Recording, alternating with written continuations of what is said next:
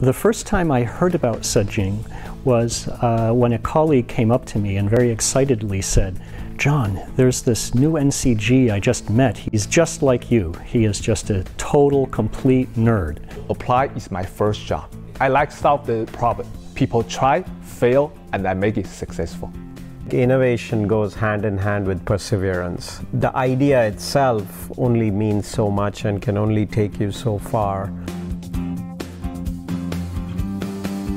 There are too many clever people in this industry already.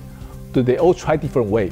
If I can break the rule, I probably have a chance to do something other people cannot do or other company cannot do.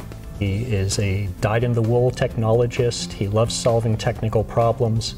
Don't be afraid about failure.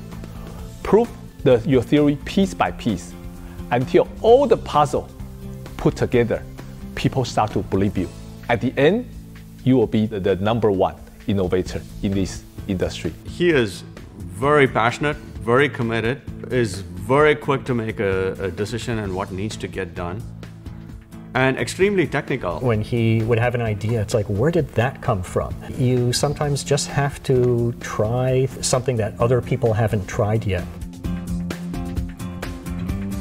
Innovation happens every day in applied materials. But the real impact in this industry is a revolutionary innovation.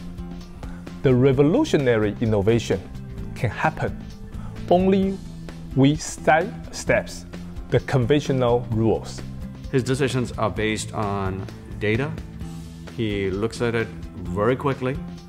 He is one of the fastest that I've seen who's been able to absorb the data, come to a conclusion, make a challenge to the team to think even beyond what they've been thinking about to open more new frontiers. Not everyone has a persistence.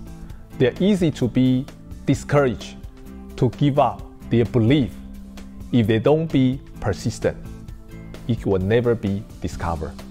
To be an innovator, you have to have perseverance, obviously, but you also have to have some faith in your own ideas and you sometimes just have to try things that are a little bit different, something that other people haven't tried yet.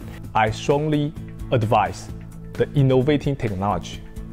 Keep a very strong belief, have conviction and persistence to your theory, even when no one believes in you.